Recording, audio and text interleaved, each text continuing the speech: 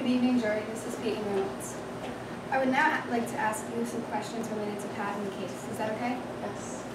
Why did you want Pat to attend the leadership conference? It was a great opportunity for him and a great, and a great way to get scholarship money. Given my divorce, any help with tui- tuition is a bonus. And how would you describe Pat's academic life? He has mostly B's, but his grades slipped a little after the separation.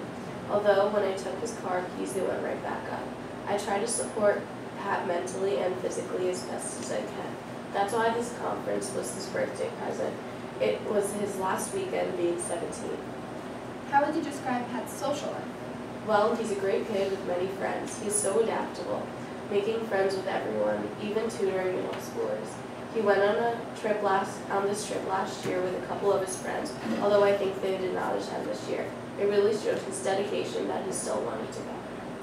Were you concerned at all about the safety of your child on this trip?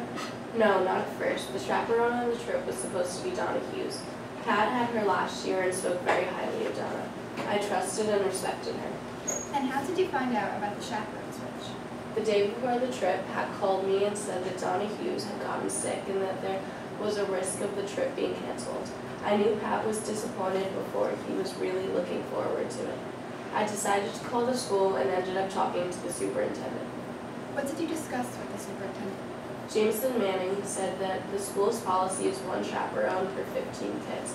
I know there were, I knew there were 20 kids going, and no chaperone was available, with homecoming being soon. I remembered reading that the conference had one chaperone for every 20 kids and told Miss Manning. Why did you su- suggest that to Mrs. Manning? Because it was Pat's last time to go to experience a high school conference, and as I said before, the scholarship money would really help. Did the school follow up with you after the call?